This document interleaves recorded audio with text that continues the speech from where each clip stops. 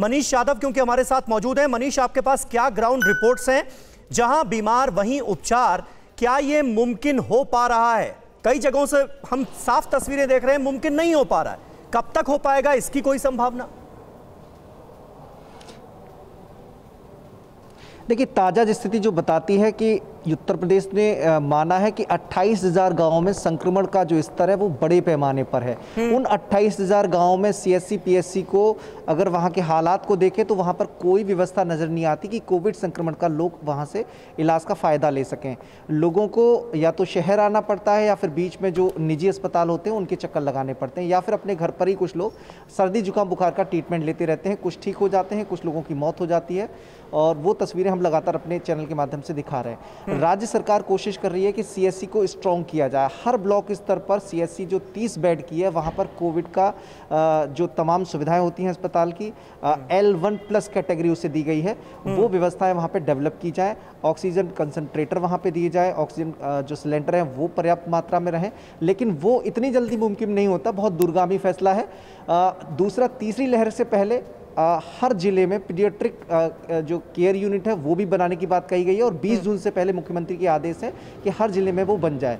तो हम्म। अभी बहुत लंबी लड़ाई है व्यवस्थाएँ जुटना शुरू हुई हैं लेकिन उससे पहले बहुत बड़ा नुकसान हो चुका है। गाँव में बड़े पैमाने पर जनहानि हो चुकी है। लेकिन हम्म। अभी भी अगर आ, जो फैसले लिए जा रहे हैं उन्हें ढंग से लागू किया जाए तो बाकी जो बची आबादी है चूँकि अभी संक्रमण का स्तर कम नहीं हुआ है गाँव में लगातार सर्दी जुकाम बुखार से लोग परेशान हैं और कई लोगों के लिए जानलेवा हो रहा है। तो अगर अभी से भी जो सही बात है, कमर कसने का वक्त है मनीष, बिल्कुल आप सही कह रहे हैं और आज अपने संबोधन में भी पीएम मोदी ने भी इस बात का ज़िक्र किया है कि अभी संतोष दिखाने का वक्त नहीं है, काम करने का वक्त खत्म नहीं हुआ है। हालाँकि वाराणसी मॉडल की तारीफ़ की है पीएम मोदी ने, वाराणसी में जो काम हुए हैं, जिस अंदाज में हुए हैं उससे अच्छा बताया अभी वाराणसी मॉडल है क्या संक्रमण रोकने का? ये जरा हम आपको बताते हैं। एक तो सबसे पहले इस बात का ज़िक्र करना होगा कि यहाँ पर जो व्यापारी थे वो, उन्होंने अपने लेवल पर भी जागरूकता दिखाई। व्यापारियों ने बाज़ार खुद ब खुद बंद कर दिए और आज व्यापारियों के इस कदम की पीएम मोदी ने अपने संबोधन में तारीफ़ की है।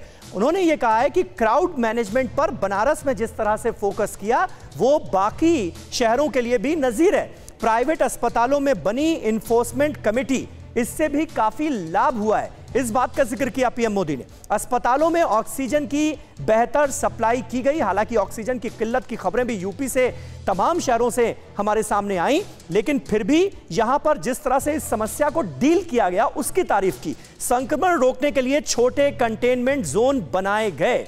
और आप देखिए, पीएम मोदी लगातार अपने पिछले कुछ संबोधनों में इस बात का ज़िक्र कर रहे हैं कि छोटे छोटे माइक्रो कंटेनमेंट जोन बनाए जाना बहुत ज़रूरी है और जहाँ लोग बीमार हों, वहीं पर उनका उपचार कराया जाए। खास तौर पर यह मंत्र भी पीएम मोदी की तरफ़ से दिया गया है।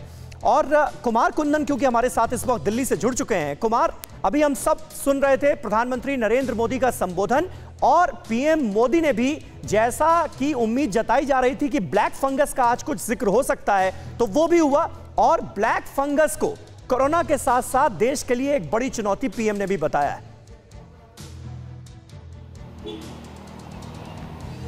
निश्चित रूप से समीर इसको समझना होगा पिछली बार जब कोरोना की लहर आई थी तो उस वक्त भी ब्लैक फंगस के केसेस हुए थे। हम्म। लेकिन जितने केसेस कोरोना के हुए थे उस अनुपात में अगर इस बात की बात करें तो चूँकि इस बार की लहर और ज़्यादा है पीक बहुत ज़्यादा था केसेस ज़्यादा हुए हैं तो उसका रिपोकशन भी ज़्यादा हुआ है और ब्लैक फंगस के केस कई राज्यों में दिख रहा है जिसमें दिल्ली भी शामिल है।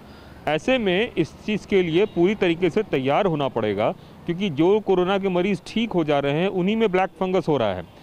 तो हमने देखा है कि कोरोना का पीक एक तरीके से देश से करीब करीब निकलता हुआ दिख रहा है।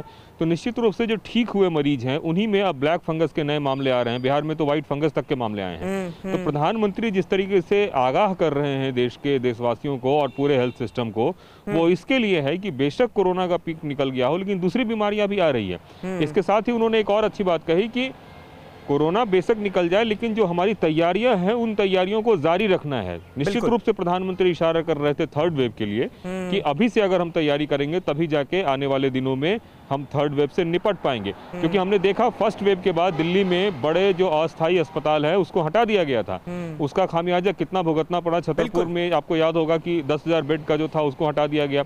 और भी कई सारे।